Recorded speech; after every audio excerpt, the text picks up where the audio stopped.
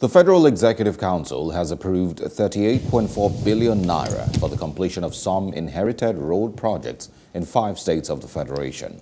Minister of Works and Housing Babatunde Fashola made this known when he briefed State House correspondents at the end of the council meeting presided over by President Muhammadu Buhari on Wednesday in Abuja.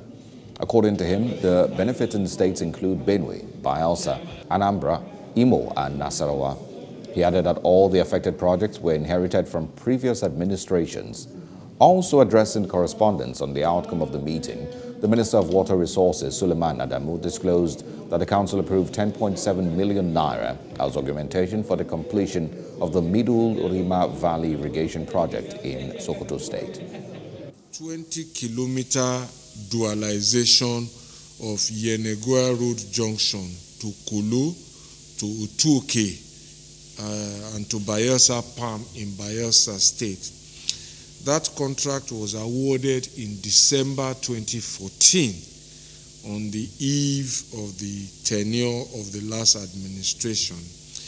And uh, it couldn't even take off because of those uh, militancy issues at the time and also very limited budget provisions. It is one of the con contracts that we have since uh, reactivated with the Sukuk.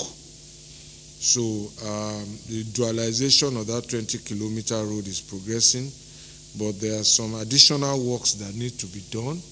Um, there are also results of um, further investigations that support a revision of the contract by 7.947 billion uh, revising it from a total of 26.498 billion now to 34.446 billion.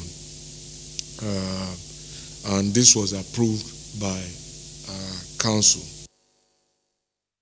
Hello, hope you enjoyed the news. Please do subscribe to our YouTube channel and don't forget to hit the notification button so you get notified about fresh news updates.